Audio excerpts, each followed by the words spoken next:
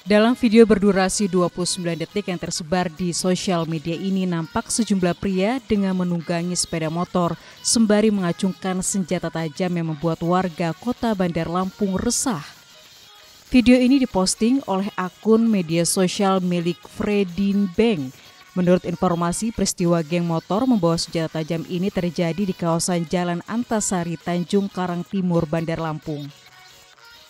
Menerima laporan adanya sejumlah pengguna motor yang mengacungkan senjata tajam, Kasat Reskrim Polresta Bandar Lampung menuturkan pihaknya kini tengah mendalami dan menyelidiki beredarnya video tersebut di jagat maya.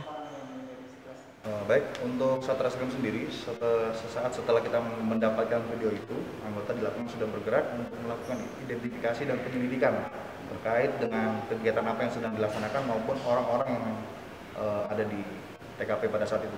Untuk pemeriksaan akun sendiri sudah dilakukan atau belum? Sudah kita coba uh, lakukan penyelidikan dengan teknik penyelidikan yang saya tidak bisa ungkapkan di sini ya.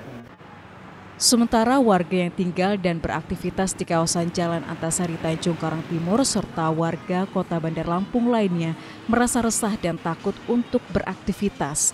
Hal ini juga diperkuat dengan tindak pencurian dan kekerasan yang kerap terjadi di wilayah kota Bandar Lampung.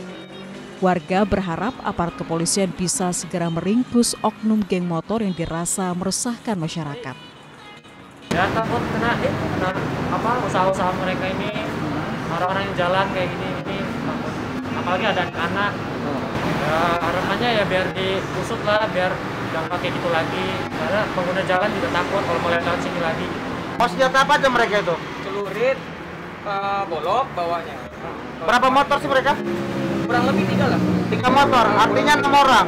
Apa? Artinya enam orang mereka itu? Iya enam orang. Kurang lebih enam orang kan oh, itu udah berapa kali kita lihat kejadian seperti itu di sini?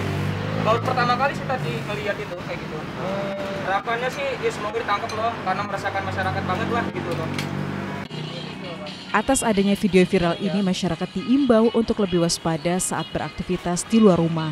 Bahkan bila tidak adanya kepentingan mendesak, masyarakat diharapkan untuk tetap tinggal di rumah.